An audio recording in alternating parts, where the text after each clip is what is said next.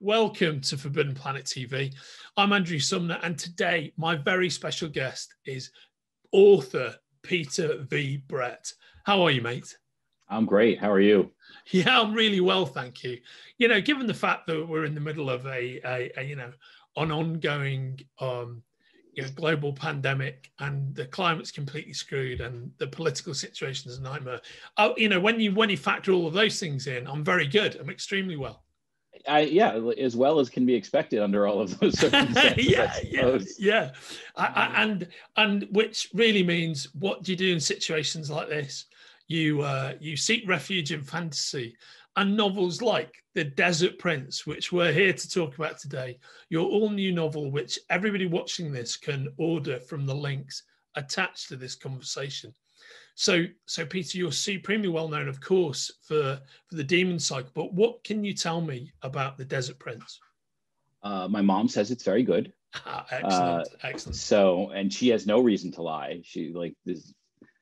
The Desert Prince. Uh, I, am trying to walk the razor's edge with it. It um, is set in the same world as the Demon Cycle uh, but it takes place 15 years after the end of that series. So the Demon Cycle ends with a, with a firm ending. Uh, all of the major story threads are closed out. You can finish that series and stop and be safe. Um, but if you're interested in continuing the journey, 15 years later, um, some of the uh, progeny of the heroes of the previous series uh, are growing up and discovering that their world has all sorts of problems as well. Um, so there's a whole new cast of characters. If you haven't read my books before, everything you need to, to start on the adventure and get rolling is in The Desert Prince.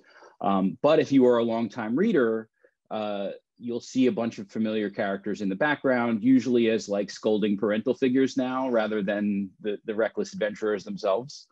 Um, so I think it's it's a good balance where longtime fans will feel like they're coming home, but new readers can jump in and feel like they have everything they need to just get going on the adventure. Um, so I'm pretty excited about it. Yeah, I mean that that that does sound fantastic. Do you have an umbrella title in place yet for the for the for the new series? The Nightfall Saga. The Nightfall the Saga. Series. Fantastic. Yeah. So this is book one of the Nightfall Saga. Um, there will be like if you read the this without having read the other books, there will be some spoilers for the other books, but I don't think anything that would stop you from enjoying it if you decide to go back to the backlist. Yeah, which which frankly, anybody watching this, if you haven't read uh, Peter's backlist, that's what I would completely recommend. Also available from the links attached to this conversation. I hear they're very good. Start at the beginning and, and, and rock through. So, um, so I'm really interested in um, your journey to like the place that you you are now as a novelist because um, something that you and I have in common, although I'm a journalist, not an author, mm. is that uh, I believe that one of the initial things you did was work in pharmaceutical publishing. Which, it's true. Which I also did, mate. So, uh, so I, I, I'm sorry. I, I feel your pain. yeah, yeah I, I feel, escaped. I feel your not yet medicated pain. You know, so I, I, I get it. So, how did you, how, how did that work out for you, and how did you manage to, uh, tra- how did you transition, and how did you create the Demon Cycle? So I, I, I always knew that I wanted to be a writer, or at least I knew from a very young age that I wanted to be a writer. But um, when it came time to go to college, uh, I could really only afford to go to a state school. And I picked the best one that I got into, um, which was the University of Buffalo, which is a fine school if you're looking to be an engineer. Um, they did not have a creative writing program. And so I just took a bunch of English literature and art history classes and got uh, you know a, a, BA in English literature and a, a, minor in art history, and then realized after I graduated that that qualified me for no jobs. so uh, I had the the English skills, and so I started out. I took the first editorial job I could get. Well, I started out managing a comic shop. I managed a comic shop for a year, and then after that, I got a um, job editing phone books. You may remember phone books. Uh, I do indeed. Yeah. Some well, of the I'm, other people. I'm a person of a certain not. age. Yeah, right. Yeah. Um, editing phone books is exactly as fun as it sounds. Um, so then I uh, took a job uh, from there editing medical journals. um, or in, like an assistant editor at a medical journal company, uh, John Wiley and Sons. And then from there, I moved to another company um, called Medical Education Network. And what they did was they hired journalists to go to medical meetings and um, report on the, the presentations there and but it was all sponsored by pharma so you know you would have a journalist who would go and they would cover a bunch of legit things but then the pharmaceutical company would also have this little satellite thing where they talk about the off-label uses of their drug that they're not allowed to talk about at the actual meeting yeah right yeah. and then we you know we would report on that um and so like i don't think it was a very careful dance to make sure there were there's a lot of laws regulating that and we followed them all but it still wasn't what I wanted to do with my life. Um, I did get a lot of experience doing that though, because um, I went from editorial uh, to print production. And then from there, I became like a production supervisor. And so I was building websites for clients. I was making promotional items. I was hiring journalists. I was hiring artists. I was doing art direction. Um, and so I built up a lot of publishing skills that transferred very well when the book that I was writing, like late at night and on the train in the morning, uh, finally sold.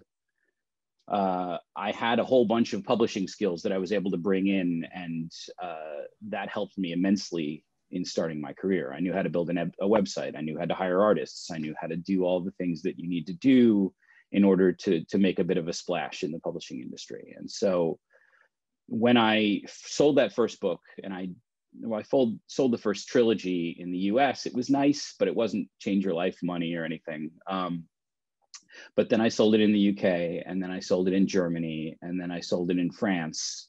And right around then, I did the math and figured, okay, I'm still not making as much as I make at my day job, but I am making enough to pay my bills so let's just try this writing thing. I gave myself two years to see how it would went, how it would go, and um, quit my job. And I said, look, I don't like this job. I can always get another job yeah. that I don't like. Yeah. So let's try just this once to do something that I do like. So I gave myself two years. I figured my my finances would hold out for that long, and that was 12 years ago. Uh, so I, I still, think still that treading water. I think that is a very structured and inspirational um, way to go about things. And I, I in fact, I, I, would say that for anybody, you know, who's interested in a writing career, I think the way that you approached it was to, to bring a, a semblance of, uh, of um, financial stability to your life and then go right i'm not going to do these jobs that bore me to death forever. I will give myself a period of time to try and not do that.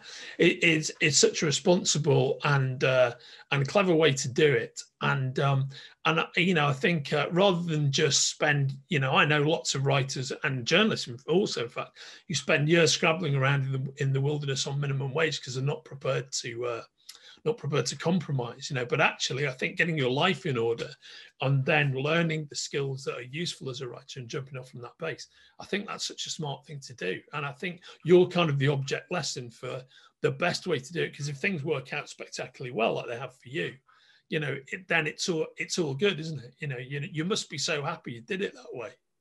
I, I really am. I, I do believe like you have to have your house in order. And so if you can't do that, then you've got no business uh, jumping into art, you know, like both feet, both feet first.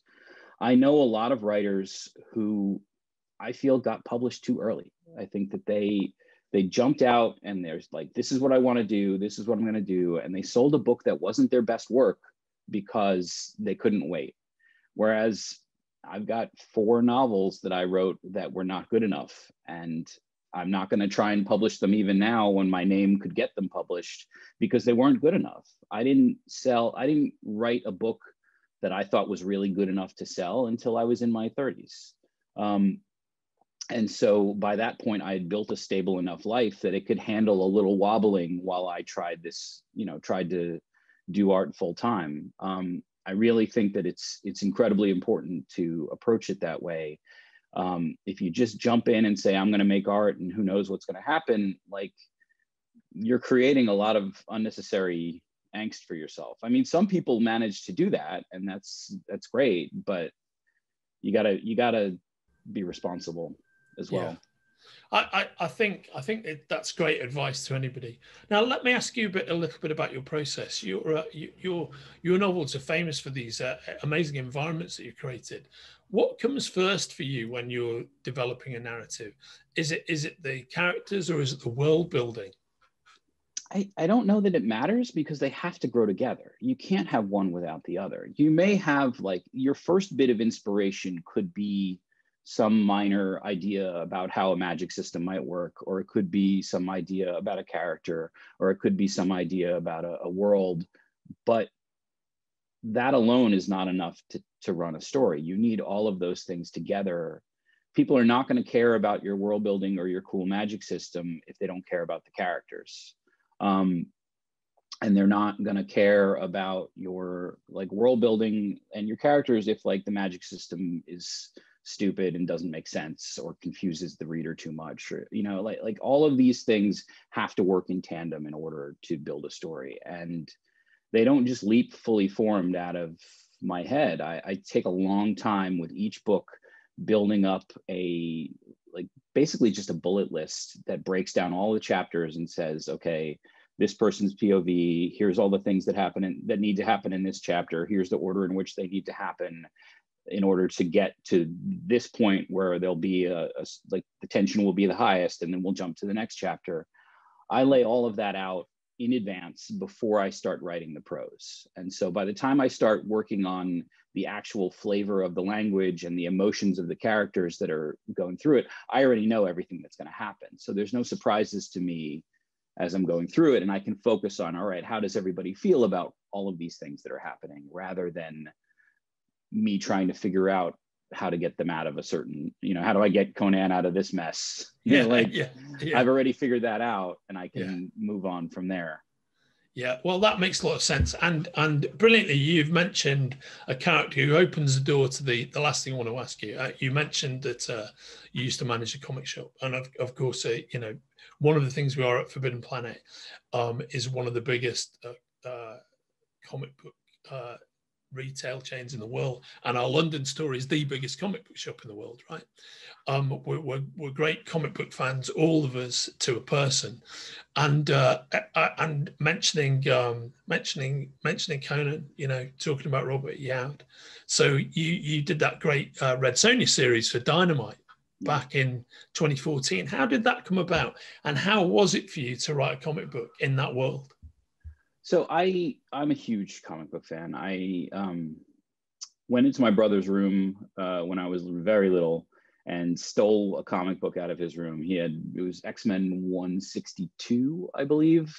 Um, Wolverine was like trapped on an alien world, and like all of the X Men had eggs laid in them, and they were gonna turn into monsters. he resolved that he was gonna kill all of his friends before they could turn into monsters, and it was the coolest thing I'd ever read in my life and so ever like i probably at that point started reading every comic book there was in the 1980s and there were a lot of them. Um, so i've got a really strong comic book background. Um, so after college like that job called to me. I really loved managing the comic shop. Um, and then and I, I am also like a lover of forbidden planet. I uh, lived next door to the Forbidden Planet in New York City for for many years. And yeah, that was my local shop, and I've done many signings in the London store yeah, and always had an amazing time there as well. Um, I was at New York Comic Con probably 20, 2011, 2012, something like like a long time ago. Um, and I was with Brandon Sanderson. Uh, he and I share the same literary agency. And so, ah, right, okay, uh, I know Brandon. Right, okay, that that that's interesting. So we were at the con with our agent Joshua, and Brandon had a meeting with Dynamite Comics, and so I was just sort of along for the ride, and I started talking to their head of production, and I was just casually saying like, "Oh, I read your comics. Like, I saw that you bought the rights to Red Sonja. I used to read that comic when I was a kid back in the '80s when." Mary Wilshire was doing the art and Louise Simonson was doing the writing. And like she wasn't in the chainmail mail bikini back then. She had like a whole different outfit. And like I love how you've like uh, you know hired like really first class writers and artists to, to, to relaunch the series. And like, I just went into this whole spiel about the history of the character because, uh, you know, I love comics. And by the end of that conversation, he was like, I need to talk to the boss. You need to write Red Sonja. Um, but I had book contracts and I, I didn't want to commit to changing careers or, or you know, um, I had other commitments. And so I said, can we do a limited run where I can maybe do, if not an like an Elseworlds thing, but something where I can just uh, screw around a little and not have it affect the, the main storyline. Um, and so they let me uh, put Red Sonja back into like take her take get rid of the chainmail bikini and put her back in her 1980s outfit for a while. And I and each issue is sort of an homage to like uh, like there's an issue that's an homage to Frank Thorne, who was the, yeah. the, the main innovator yeah. of Red Sonja, and then there was an issue that was an homage to to Mary Wilshire and, and Louise Simonson, and like so I really like it was a very personal project for me. Um, but that said, I strolled into that project with a lot of arrogance because uh, as a writer, I'm used to having control of everything, and I'm used to writing a ton and I was like, I've read 5,000 comics, or like I can, I can write a comic book, it'd be easy. And then I realized that writing comics is a completely different skill set than writing novels. And I would write these like soliloquies for the character, and then the art would come back, and like I'd written maybe 150 words, and I'd have space for 17 words, and I would yeah. somehow have to figure out how do I boil down this long speech into yeah. 17 words that still get across whatever it is I need to get across. Um, and so it was a real partnership with the artist and i was lucky that i had gotten uh, assigned some excellent artists and when i i would design a, a, page for them and sometimes i would get back what i asked for and sometimes i would get back something completely different but better than what i asked for uh, but it but it, there was a lot of on the fly like okay now i have to change the whole script to make it work with this um, which was also a lot of fun and a great learning curve and like now that i've done it i'm really glad that i did it but I also had to get permission to do a lot of things from the rights holders of Red Sonja. And I wasn't used to that because I'm used to working in my own world where I can kill anyone or change their clothes or whatever without a, without an argument. Um, but every time I came up with a new plot idea, we had to send it to the rights holders and they had to approve it. And, and so uh, it was a good experience. I really enjoyed it and I loved the graphic novel. And so by all means, people check it out. Uh, but I, am sticking with novels for a while. I'm probably going to get back to comics after this next project for something. Oh, that'd be awesome. I mean, I guess the key is I, I have we do a lot of uh, Titan, we do a lot of licensed comics, and uh, yeah. surely the key is to if you create your own book, you don't have to jump through any of those hoops. So that would seem well, to Demon, Demon Cycle Comics step. may be on the horizon. Uh, that is good news, mate. That is awesome. I, am I'm, I'm glad you said that because that was exactly where I was going with this. So uh, on on that very positive and hopeful note for the future, I, am just going to say you've been watching Forbidden Planet TV. I'm Andrew Sumner. I am privileged to be joined by Peter V. Brett, and we've been talking about his career and about his amazing new novel, The Desert Prince, the first in a new sequence sequence in this in this imaginative world is creative. And you can order that book from the links attached to our conversation. Thanks so much for on joining sale me. Mate. August 25th. Or, or yeah, right August on. 5th, 2021. Get it done right here. Yeah, right here. Thanks for joining me today, mate. It's great to chat with you. Thank you. Thanks for having me. This was wonderful. Brilliant. I'll see you soon. And come and join us again when the stores are open. I and will, you can fly absolutely. across the Atlantic whenever that is. I know. can't wait to get to London again. It has been far too long. Well, we're looking forward to seeing you, brother. You take care. Yeah. Thank you. Bye bye. You too. If you're enjoying watching Forbidden Planet TV and you're enjoying watching us talk to the world's most interesting and accomplished filmmakers, authors, artists, musicians, creators, subscribe right here. See you soon.